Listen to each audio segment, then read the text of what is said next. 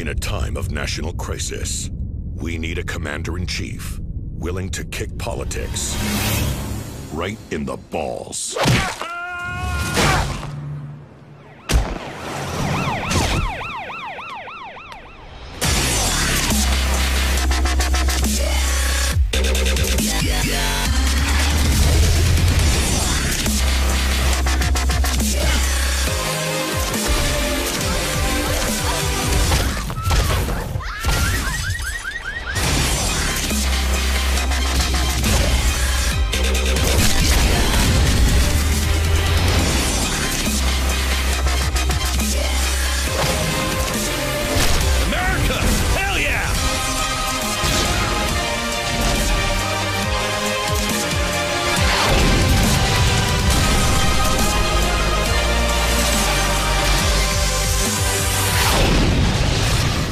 Hail to the mother chief.